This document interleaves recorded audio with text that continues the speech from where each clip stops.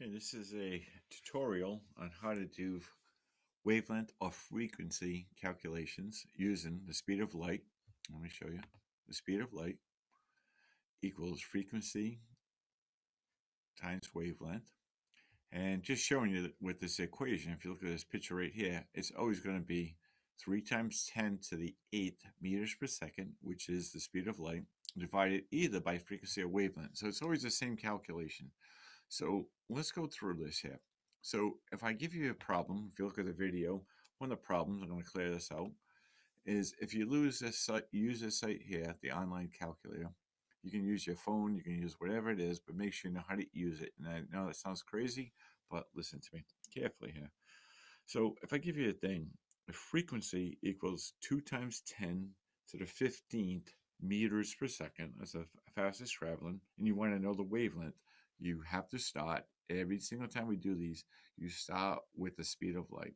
Three times 10 on this calculator. Make sure you check with me, whatever you're using for a calculator, that you can find a key that does this. The exponent key means times 10. All right. And then you put in 8. Bingo. If you use this one, you should see this. And then you should see this every time you do it. So take this number the way it is right there, and then plug in the number that's given into your calculation. For those of you doing the um, spectroscopy or the star learner, a star locator, I'll be the numbers on the left hand side. Take that number and plug it in right now. So if the number is 2 times 10 to the 15th, you would put 2. Instead of times 10, you put EXP.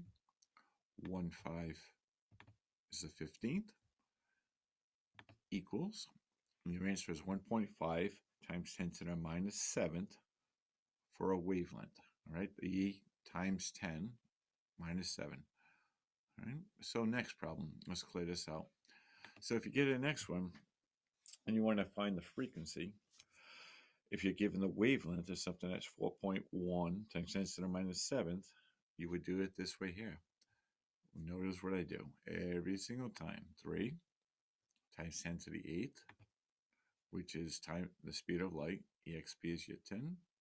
E divide. Look at this. It's the same as I just did it before. All right. Plug in the number from your question. In this particular one, 4.1. Instead of times 10, you put exp, which is times 10. In this calculator, put minus 7.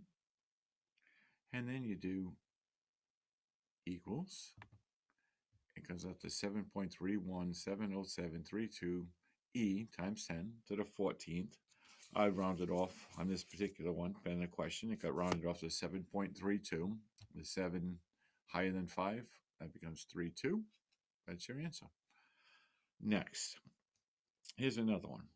Now, you're given frequency, it wants to know the wavelength for something that has a frequency of 9.82 times 10 to the 15th. So, watch this. Third time we done this, third time we did the same thing. We always start off 3, exp, 8. Boom, divide. No matter what it is in this particular type, be careful if I give you something different, but as far as this year goes and question we're doing, you won't get anything different than this, especially even for the midterm. To expect you to know how to do this for the midterm. And then in this particular one, it gives you a frequency of 9.82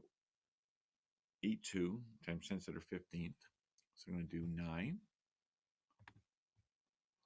9.82 exponent 1, 5, and equals and we come up with 3.05498982 times 10 to the minus 8 or e to the minus 8. You got to round off because, depending on the way your answers are given to you, so got rounded off 5 or higher. This gets rounded off to 3.1 times 10 to the 8th. All right, and that's the end of it. Each time, just remember every time you do this, whatever problem you do, you should always start off looking like this on this calculator. If you use a different calculator, let me see you. um, talk to me. But other than that, that should be how every single one starts with. All right. Thank you very much. Hopefully, listen to this so that when I